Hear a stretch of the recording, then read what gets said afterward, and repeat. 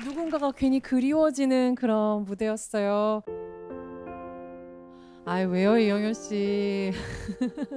저는 솔직히 말씀드리면은 저희 아버 아버지가 조금 젊으셨다면 저렇게 기타를 메고 노래 부르시는 모습이 아마 지금 김지현님 같은 모습이지 않을까 그 생각을 하니까 저희 아버지 생각이 나면서 갑자기 이렇게 팍 터지더라고요.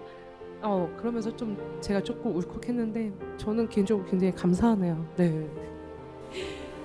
이거 어떻게 심사해요? 이렇게 정말 너무너무 아름다운 무대고요. 그 아, 어떻게 살았을까? 어떤 얘기를 한번 대화를 하고 싶다 이런 음. 생각이 들 정도로 어, 너무너무 잘 들었습니다.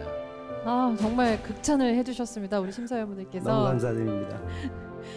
어 제가 듣기로는 콜로라도 버스커라고도 또 본인을 소개하시고 아, 예, 예. 실제로 미국에서도 버스킹을 하고 계시다고 들었어요. 아, 제가 회사 다니면서 저녁에 아르바이트하고 또 주말에도 아르바이트 하는데요. 그 알바하는 마트가 그 한인마트예요. 네. 한인마트 앞에서 제가 몇 년째 그 버스킹을 해오고 있어요. 왕래 하시면서 보시는 분들이 많은데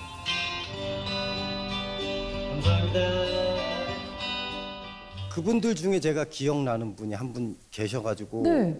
지나가시는 백인 homeless 분이 네. 어느 나라 노래냐라고 물어보신 적이 있어요. 그래가지고 오. 코리아라고 제가 대답을 하니까 어, 계속 지켜보고 계시더라고요. 그래서 네.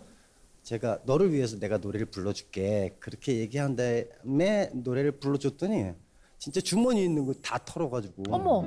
내가 가진 게 이거밖에 없어라고 와. 얘기하더라고요. 그래서 정말로 저한테는 큰 찬사하지 않았을까. 와. 진짜 감동스러웠던 그런 기억이 있네요. 네, 뭐 금액이 크고 작음을 떠나서 그냥 내가 느낀 지금 이 행복감 너무 고마워라고 모, 모든 걸 표현하고 싶었던 거잖아요. 그렇죠. 자, 오늘 좋은 결과 있기도 제가 또 응원하겠습니다. 감사합니다. 고맙습니다.